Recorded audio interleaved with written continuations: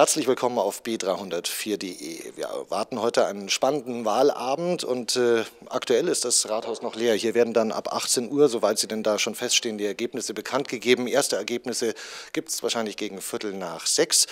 Allerdings dauert es dann noch etwas, weil die Briefwähler ausgezählt werden müssen. Es sind zwar nicht ganz so viele wie vor 14 Tagen, aber 3600 sind es dann doch und das dauert erfahrungsgemäß etwas. Was wir für Sie haben um kurz nach sechs ist eine Umfrage, die wir heute exklusiv gemacht haben haben. Wir haben dazu 1000 Bürgerinnen und Bürger vor den Wahllokalen noch einmal wählen lassen.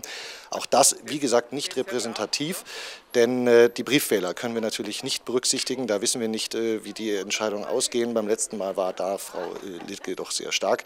Wie gesagt, deswegen kann das nur eine erste Tendenz sein, die wir dann um kurz nach sechs für Sie haben.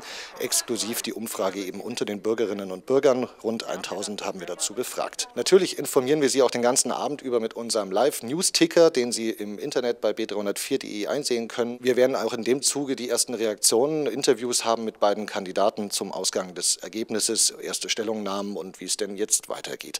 Wie gesagt, das alles erwartet Sie heute Abend und äh, bis dahin wünsche ich Ihnen noch einen schönen Nachmittag. Danke, ciao.